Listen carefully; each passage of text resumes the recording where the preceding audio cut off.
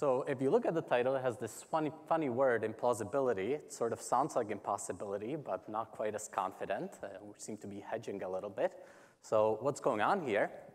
Well, we're going to show, our main result is showing that differing inputs obfuscation, this uh, type of obfuscation, I'll explain what it is later, uh, cannot exist, so it is an impossibility result. But in order to prove it, we'll, we'll need to assume that another form of obfuscation does exist. So uh, it's a funny sort of result. It's not immediately clear what to make of it or how to interpret it, but I'll try to convince you that you should interpret it as giving some uh, strong evidence that differing inputs obfuscation doesn't exist. So the result will, the talk will really have two components. There'll be some uh, science, uh, real uh, theorems and proofs, uh, but also an equal part of the talk will be uh, some sort of interpretation, trying to explain uh, what to make of these results, how should we view them. So at best, you might call it philosophy. At worst, it will be some sort of like an interpretive dance with a lot of hand waving. but I, I do think this is important. Uh, I'm not going to shy away from it, but uh, I want you to be skeptical. Everything that's not science, you should be skeptical about. Great. So uh, let me start with the sort of an ancient history of obfuscations, starting with the year zero, 2000, uh, until last year. So uh, obfuscation was first formally studied by Hada, al., Hada and Barak et al., and especially this work of Barak et al. gave a really comprehensive study of it. And they defined a strong notion, something called virtual black box obfuscation, or VBB obfuscation. And roughly speaking, this notion says that uh, uh, an obfuscated code should only be as good as uh, having black box access to the program. So you can feed uh, inputs to the obfuscated code, get outputs, but you shouldn't learn anything else about the code by getting the obfuscated code. Learn anything else. Uh, unfortunately, they sh showed negative results that this notion of VBB obfuscation is impossible in general. In fact, there are several, I'll call them pathological functions, so highly contrived functions, things that you wouldn't probably think of obfuscating naturally, uh, that cannot be obfuscated. No obfuscator can uh, achieve this VBB property for these functions. And so even though these functions are contrived, this already says that we cannot have a general notion of VBB obfuscator. Any kind of obfuscator will have to fail to be VBB for at least some functions. And also, we don't have a good way of characterizing what these functions are, what they look like. Uh, so we don't have a general class of functions uh, that we could assume to be VBB obfuscatable. Uh, so uh, for any sort of class of functions that you might think of that you'd like to obfuscate, so for example, you might hope that you can get VBB obfuscation, let's say, for all symmetric key crypto systems. No, there's some contrived symmetric key crypto system that will be one of these pathological functions that will, is not obfuscatable. So it's hard to really figure out what you could hope, what class of functions you could hope to VBB obfuscate. On the other hand, we did have some positive results that certain uh, very simple functions, things like point functions, are, are obfuscatable. And this is already highly non-trivial, but it's a far cry from trying to obfuscate some sort of a complicated program. So it's really much simpler types of functions. And uh, so here's a useful picture to have in mind. This is what our view of obfuscation uh, would, would have looked like, or would look like. Uh, so there are all of these unobfuscatable red functions scattered throughout, uh, very contrived functions, not really natural things, but they're all over the place. And then there's some small region of obfuscatable, very simple uh, type of green functions that we do know how to obfuscate. And uh, I think the view that our community had of uh, what this picture, and the rest of the region here, the white region is really unknown. We don't know one way or another. And I think the view that our community had of what this uh, might look like, at least before last year, would be something like this, that probably most interesting things are unobfuscatable and yeah, there's some small, simple region of uh, VBB obfuscatable functions like point functions. And the reason that uh, I think we had this interpretation, at least I had this interpretation, is that it was very hard to conceive of some sort of a general way of obfuscating co complicated function, functions, and also that there were these functions that we knew to not be obfuscatable scattered all over the place. So it seemed reasonable that maybe nothing interesting is obfuscatable, we just don't know how to prove it. Um, so this really changed last year with uh, this work of uh, Garg, Gentry, Halevi, Raykova, Sahai, and Waters, who gave the first general candidate obfuscator. And so this is a scheme that at least syntactically can be applied to any polynomial time program. It's really a candidate way of obfuscating any program. Of course, it fails to be a virtual black box obfuscator for some of these pathological functions, which we know to be unobfuscatable, but it doesn't seem to have any other weaknesses. If you apply it to a natural function, you could even assume that it's VBB obfuscation. It seems reasonable. We don't really have any, any concrete attacks on this. And uh, so I think after this work came out, suddenly our view of the world changed, and uh, now it became conceivable that the world could look something like this. So almost everything is obfuscatable. It's a big field of green. We're all happy, except that there's like these annoying red dots, some very contrived functions that aren't obfuscatable, uh, but they're really just these contrived things, nothing really natural. Uh, of course, it's not very satisfactory because if you want to use obfuscation, you do want to use it on some particular function you have in mind, and now you're not sure. Is it a green function? Is it a red function? You don't know. So this doesn't really let you, you know, even if this is your view of the world, it's not very usable. You don't know how to, how to use this type of obfuscation to do anything. And so the goal is, can we have some sort of a general assumption obfuscation which would be general, simple to state, useful, and could plausibly hold, uh, the, and you know, that we'd like to make some such, such assumption obfuscation. So of course, we could just, every time you want to use obfuscation on a new function, you could just assume that it's, uh, you have VBB obfuscation on this particular function, that it's one of the green functions. But that wouldn't be a general assumption. You'd need a new assumption every time you wanted to use obfuscation on a new function. It wouldn't be a simple to state assumption because maybe the function you're trying to obfuscate is complicated, so your assumption would need to have this function embedded in it. Um, so that's not what we want. We want to have something general, simple to state. And uh, in fact, two such candidate definitions were proposed in this work of Barak et al. One of them is called indistinguishability obfuscation, and the other is called differing inputs obfuscation. So uh, let me tell you what these are. So you already saw indistinguishable obfuscation in the last two talks, but just as a reminder, it says the following. So it says that if you take any two circuits, C and C prime, which are functionally equivalent, so on every input x, C of x is equal to C prime of x. They produce the same output. if you take any two such circuits, uh, but of course their description could be very different. They could look very different even though they're functionally equivalent. If you obfuscate them, the obfuscated circuits will look the same. They'll be computationally indistinguishable from each other. Okay, that's the notion of indistinguishable obfuscation or I.O. And at first it doesn't really seem that useful, but it turns out to be surprisingly powerful. Uh, we now know how to get all kinds of amazing results, functional encryption, witness encryption, deniable encryption, sussing zero knowledge, non-interactive multi-party key agreement, broadcast encryption, all kinds of things that we could have only dreamed of uh, a year ago. We now know how to get from this. On the other hand, there are still many reasonable properties that we could hope an obfuscator to satisfy that we can't prove from I.O. alone. And uh, even the properties that we can prove, all of these amazing results, they're sort of harder to use than seems absolutely necessary. There's often simpler constructions using obfuscation of these primitives that we think could be secure, but we don't know how to prove it using I.O. So differing inputs obfuscation is a variant of I.O. that's actually more powerful, lets us do more, stronger assumption. And it goes as follows. So it still says that we, if you take two circuits C and C prime, their obfuscation should be indistinguishable. But now we're not requiring that C and C prime are functionally equivalent, that they agree on all inputs. We're just requiring that it should be hard to find an input x such that c of x is not equal to c, uh, c prime of x. So it should be hard to find an input on which they differ, even though such inputs exist. And uh, so now we're thinking of the C and C prime, these circuits, as being sampled from some distribution.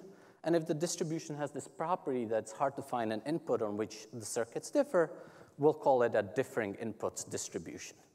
And so the DIO assumption says that for all differing inputs distributions, uh, if you obfuscate C or C prime, you shouldn't be able to distinguish. Uh, so uh, this is actually the form of the assumption that was stated by Barak et al., but I don't know any application of this assumption as is. Uh, so the, in order to actually be able to use it, people have added, uh, modified it a little bit to add this notion of auxiliary input. So uh, now we're going to sample the circuit C and C prime with also some auxiliary input. I'll call it aux. And the differing inputs property says that if given C, C prime, and aux, it's still hard to find input on which the circuits differ, then even given the auxiliary input aux, it should be hard to distinguish obfuscation of C and obfuscation of C prime. So here's an example of how you would go about using this notion of differing inputs obfuscation. So think about C of x as being a circuit that always outputs zero, doesn't do anything interesting, and C prime of x is being a circuit that has some output y of a one-way function hard-coded in it. And if it gets an input x, which is a pre-image of y, then it outputs 1.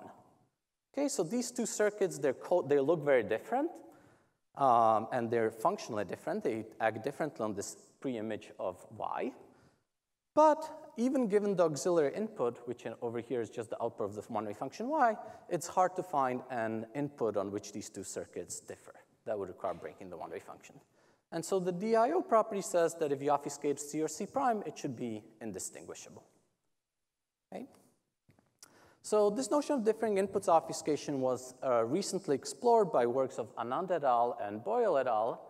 Uh, and they showed many interesting applications of this, of this, such as obfuscating Turing machines, adaptively secure functional encryption, and extractable witness encryption. And maybe even more importantly, many of the results that you, we know how to get from I.O. can actually become now simpler if you try to get them with the stronger property, using the stronger form of obfuscation. Uh, so here's our result. Uh, unfortunately, our result says that we think that this notion of differing inputs obfuscation is too good to be true. So we say that general differing inputs obfuscation, we show that general differing inputs obfuscation cannot exist assuming that some sort of a special purpose obfuscation assumption holds. And I'll tell you exactly what that is in a bit, but roughly speaking, it says that some specific function can be obfuscated in a way so as to hide some very specific information. Okay, so it's a very particular assumption. We also have uh, similar results for extractable witness encryption, but I'm not going to describe what that is or talk about that any further. So here's how we will show our result. We're going to show a distribution on, on circuits, CC prime and, and auxiliary information aux, such that it will be very easy to distinguish the obfuscation from, of C versus the obfuscation of C prime, given this auxiliary input aux.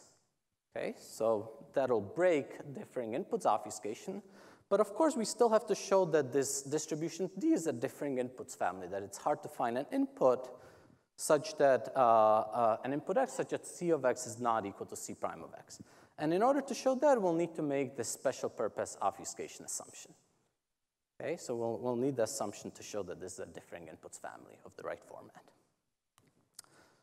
So this is what we need. We need this distribution on C, C prime auxiliary input that has these two properties. It's easy to distinguish, but it's hard to find an input on which the two circuits differ. So uh, here's the construction. We're going to set the circuit C of x to be the circuit that always outputs zero, doesn't do anything interesting. On the other hand, we're going to set the circuit C prime of x to output one if x is of the following special form. Uh, it consists of a message m and a signature sigma under some verification key vk that's hard-coded in the circuit C prime. So if you give it a valid message and signature pair, it outputs one, otherwise it also outputs zero. So at least on their own, if you see at C and C prime, it's hard to find an input on which they differ. You don't have the signing key. Can't produce valid signature. But now we're also going to create some auxiliary information, and here's where things are going to get a little messy. So uh, to create auxiliary information, we're going to define one more circuit. Uh, I'll call that circuit C star. And C star gets us input another circuit C. And it's going to do the following. First, it's going to hash C, just using some collision-resistant hash function, to get some small message M. And then it's going to sign M uh, using the signature key that it has hard-coded inside it uh, to produce a signature sigma. And then it's going to run the circuit C that it got on the message and the signature sigma and just output whatever the circuit C outputs. I'm assuming the circuit C only outputs one bit. These are Boolean circuits. Okay, so somehow C is going to define a message, we're going to sign the message, and then we're going to feed the message and signature pair to C itself. Uh, and the auxiliary information that I'm going to create is going to be an obfuscation of the circuit C star under some other possibly obfuscation scheme. It doesn't have to be related to the obfuscation scheme here. Okay, so that's going to be my auxiliary input, uh, obfuscation of C star.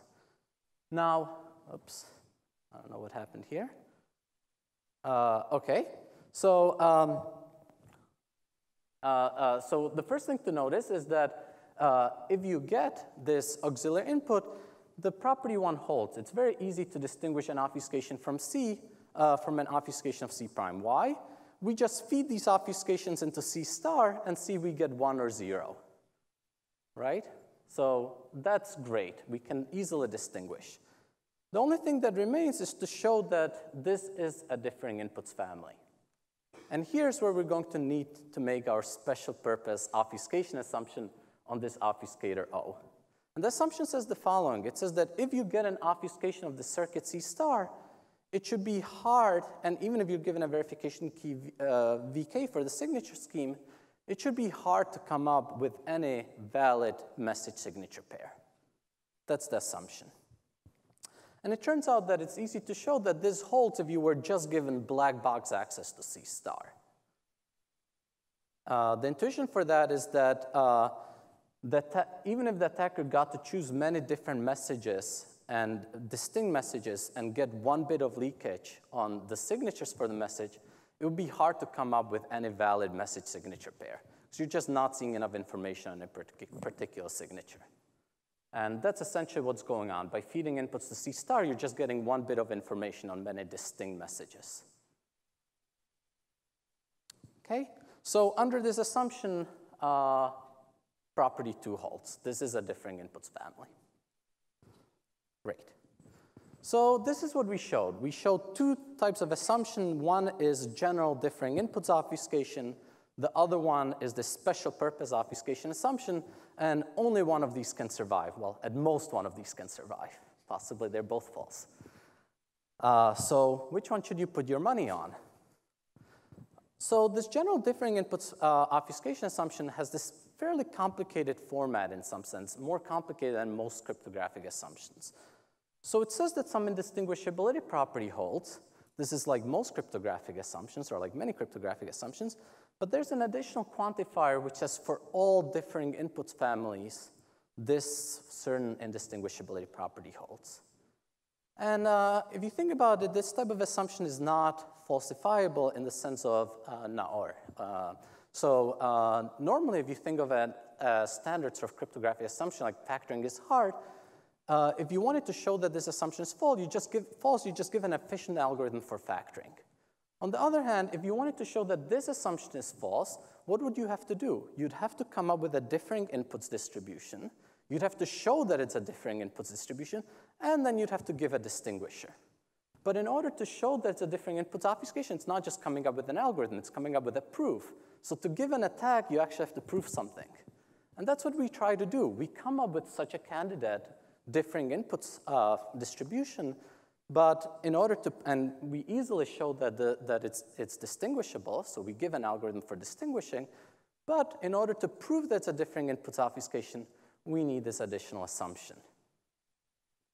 On the other hand, if you look at the special purpose obfuscation assumption, it just says that given an obfuscation of a specific circuit C star, it's hard to come, recover a valid message signature pair, okay, or a valid signature. That's a falsifiable assumption. In order to break this, you just give me an efficient algorithm that breaks it, and I can check. So that's falsifiable. Here's another way to say it. If you assume the general differing inputs obfuscation holds, you're assuming that there exists an efficient algorithm that breaks this assumption, right? We showed that that must exist, but we don't have any candidate for this algorithm. So you're assuming some algorithm exists, but we don't have any potential candidate for it. So um, to conclude, let me just talk about what I think uh, as a view of what we should think of uh, DIO at this point, given this result. So I think we give a fairly good evidence that uh, this differing inputs obfuscation for all differing inputs families is impossible, cannot be achieved. But still, DIO and even VBB obfuscation, even very strong notion obfuscation, can plausibly hold for most natural candidates that we'd like to obfuscate, just not in general. And I think it's still better to rely on this differing inputs obfuscation rather than VBB. It's sort of a more specific uh, assumption it clarifies what property you really need in the proof. So if you have a choice between these two, even though neither of them seems to hold in general, it still seems better to rely on DIO. And the search continues for a useful, plausible general obfuscation assumption. And let me add with, uh, end with one more thought, which is uh, that uh, obfuscation might be the new random oracle model. I want to give an analogy between obfuscation and hash functions. So hash functions are these super practical things. We know a lot about them. We understand them well. Uh, but just like in hash functions, we seem, hash functions seem to, we seem to have candidates that satisfy very strong security properties, and we have a hard time with defining exactly what these properties are. So we can define specific things like collision resistance, but we think that really hash functions satisfy more that collision resistance doesn't capture. So I think the same way in obfuscation, we can define things like indistinguishable obfuscation, but we think obfuscation schemes could satisfy more that this property doesn't capture. On the other hand of the spectrum, we have the random oracle model that uh, seems to capture too much. We know that there are things that hash functions, uh, that random oracle model captures that hash functions cannot satisfy. Same way we have virtual black box obfuscation seems to capture too much. And this search continues both in hash functions and now in obfuscation for finding the right or some sort of a nice assumption that captures all, all of the properties that we really think in practice should hold, but doesn't capture the properties that we know cannot cannot hold. Great, thank you.